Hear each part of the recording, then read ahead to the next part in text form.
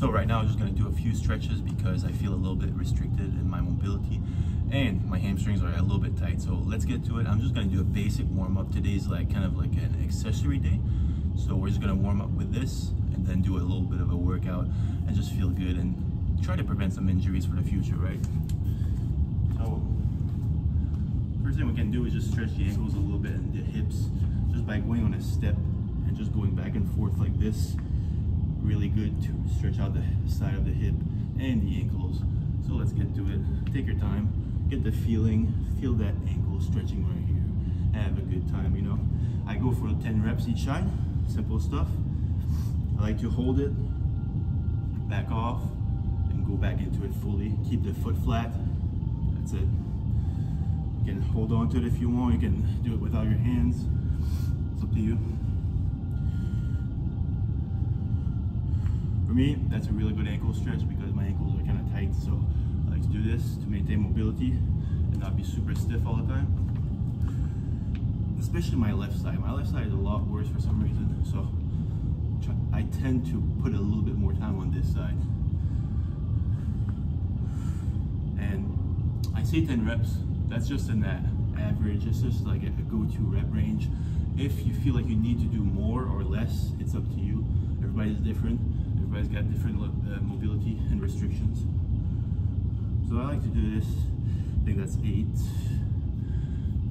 nine, ten, and maybe stretch out the hips with that pigeon pose right here, simple shit.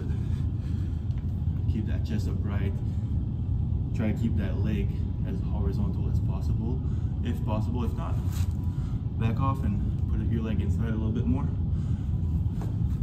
me, really good stretch on my side ankle or side hip. And I like to go into it like this. Just find these tight restriction spots on the side of the hip. Like I, then I said, like I said earlier, there's no set time limit. Just do it as long as you need to to open up these hips, open up these ankles, you know. Because everybody's got different mobility and restrictions. So you really got to keep that in mind for yourself. Do it as long as you need to to feel like it's better and it's not jammed up. Right now, my the side of my hip feels jammed, feels restricted. So I'm just gonna go into this and go where I feel like it's most restricted. And that's it, you know, just hold it until I feel like it loosens up. Loosen it, loosen up. You know what I mean. Then we can hinge, practice for hip hinge, very important. You want to deadlift and you can't hip hinge, you're fucked. So hinge, feel the side, uh, the back of your leg stretching. Keep that, these glutes tight, keep that lower back uh, neutral. And I like to put a little bit in my knees. Try to think of pushing my hips back, my butt back as far as possible. Feel the stretch my back and just hold it. Really just hold it because the, the thing is, you want to practice the positions you want to get better at a lot. Like I want to get better at deadlifting, I'm going to practice the deadlift position. I want to get better at overhead pressing. Overhead pressing, you want to practice just doing this. If you cannot get into this position, how the fuck do you expect to be good at overhead pressing? So a good way to do to get better at deadlifting or overhead pressing, get into these positions that you want to get better at without any weights literally weightless and practice. That's the position I want to get better at. So I'm gonna stay in this position and just stretch my hamstrings. Let the upper body relax a little bit. It's not very important. There's no load, so we don't need to uh, focus on the upper body. I want to focus on stretching my lower body. That's pretty much it for this.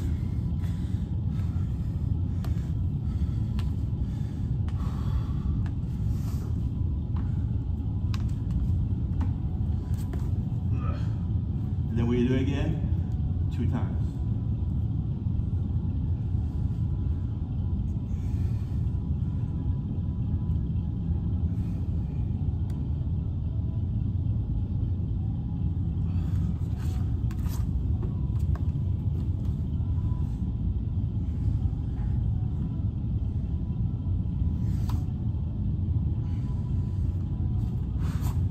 a lot of people say, oh, uh, I'm too big, I'm 300 pounds, I can't do this. Listen, there's some 300 pound men and women that are more mobile and flexible than me. So there's no excuses with your weight, okay? That's just in your head. Slowly build up your, uh, your flexibility and mobility. And the more you do it, the more you'll get used to it. That's all there is to it. And now, I really wanna focus on that uh, shoulder mobility. So, what we'll do, god damn, I'm sweating like a pig. Damn. I don't even feel like I'm sweating that much, but I actually am. Let's go. All right, so what I like to do, I'm gonna wash the mirror a bit live. Don't worry about it. I got you. I got you. But first things first, remove the sweat off your filthy hands. And then put your hand on, ideally not a mirror, maybe like wall, but there's no like flat walls here, so I'll use a mirror. And then what you wanna do is keep your chest upright, as upright as possible, like this. Put your hand behind you like this, okay? And then take your same foot as your left, uh, take your left foot, just lunge into it a little bit like this. Keep your chest upright, and then you'll feel a deep, deep stretch in your pec and your chest. And then what you can do is just do like some uh, waxing motions, wax on, wax off, just like this. Really good basic mobility stuff for shoulder mobility, okay? Wax on, wax off, let's go. And then again, there's no set numbers. I like to do this as long as I need to, to feel good, to warm up and feel warm. Then again, right arm, right leg in front. Feel a stretch in your, when you put your hands on the wall, try to think of feeling the stretch in your pec before even starting. Lunge into it a little bit to even get a deeper stretch, and then go down, go up and do a full circle like this, go back up, and that's it, you know? I'm, I'm really gonna be good at washing windows after this, holy shit. And that's it, you know? Feeling good, feeling mobile, feeling like I can move like a human being again, which is great. So then again, we can uh, just do a little bit of uh, basic stuff. Let's let's hinge again really get into that squat, that deadlift position, sorry. And really hold it, just hold it. And th think of push your hips back and feel the stretch in the back of your hamstring as much as possible. Push your hips back right now. Push, push, push, push as hard as you can. Push that butt back. Feel the stretch in the back of your legs. Hold this position. This is the position you want to get strong at, right? Deadlifting.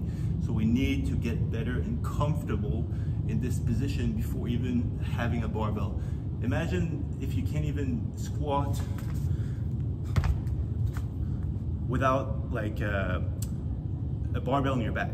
That's not very efficient. You want to practice these movements and get comfortable in the movements you want to get better at body weight first, then move on to loading, adding more weights. That's it. That's all. Thank you for watching. Hope you enjoyed and you took something from this.